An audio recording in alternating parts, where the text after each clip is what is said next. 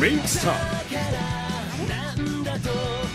All your marks どうせ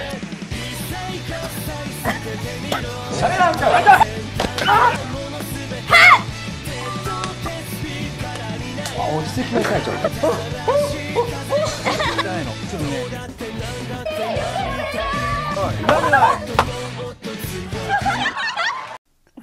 ナイスあのーちみんな濃くないですか？濃いんですよ。一人一人濃すぎるんですよ。い。や私キャラも濃いしキャストも濃いと思ってただ今回は今回のアフレコ現場ってやっぱ、まあ、女の子たちも多いから意外と僕たちも男の子でがっつり集まって話すんのかなと思ったら、なんかこう皆さんのねあの女子トークをこう、まあ、横目で横耳で聞きながらうん。うんうんってなってたような気がしますけどね。確かに。確かに。でも全キャスト濃いですからこんね。な濃い豪華です。よね豪華豪華だしなんかすごいなんていうのかな。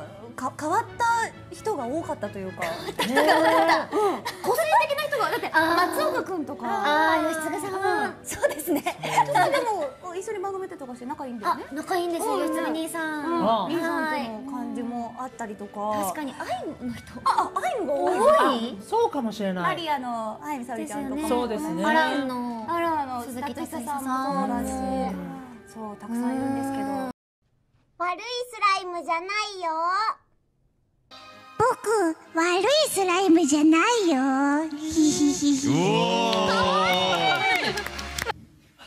私が神です